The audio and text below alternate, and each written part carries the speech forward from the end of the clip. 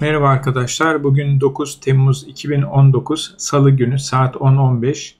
Ee, day trading yapıyorum. Yani günlük olarak borsaların nereye gittiğine bakıyorum. Burada önemli bir konuyu sizinle arada konuşmak istedim. Bir örnek vereceğim size. Şimdi Covestro diye bir hisse. İsmi önemli değil.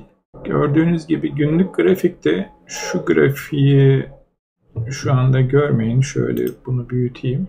Biraz karışık gibi görünebilir size ama önemli olan burada e, anlatmak istediğim zaman aralıklarının ne kadar önemli olduğu, hangi zaman aralığında işlem yaptığınızın ne kadar önemli olduğu.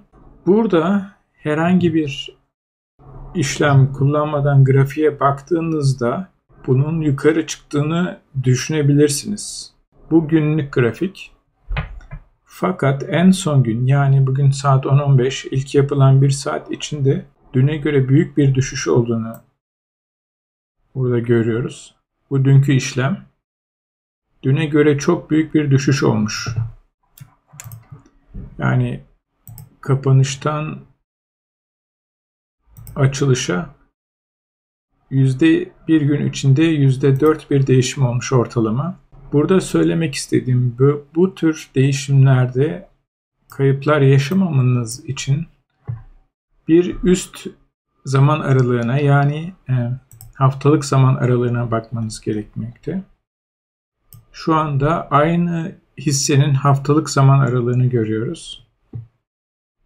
Burada hissenin aşağı indiğini görmek daha kolay ve daha mümkün. Buna ek olarak Linde indikatörünün de yavaş ilerleyen Linde indikatörünün de aşağıda hızlı ilerleyen indikatörün de yani ilk kez bu aşağıdayken yukarı çıkıp aşağı döndüğünü görüyoruz. Bu bize hissenin aşağı ineceğini anlatmakta. Bunun dışında önemli bir destek noktasını da geçmişiz aşağıya doğru. Tekrar günlük grafiğe geçelim. Bu destek noktasının da burada geçildiğini görüyoruz. Ama günlük grafiğe sadece baktığınızda böyle kısa dönemli. Büyük resmi göremiyorsunuz. Gün içinde işlem yaparken de şurada gördüğünüz gibi aynı hisse gene saatlik grafiğine bakıyorum ya da dakikalık grafiğine bakıyorum. Verilerim gerçek zamanlı veriler. Bu dünkü yapılan işlem hacmi, bu bugün yapılan işlem hacmi, dünle bugün arasında çok büyük fark olduğunu görüyorsunuz. Bu kadar düşüş olacağını haftalık grafiklere bakarak tahmin etmeniz mümkündü.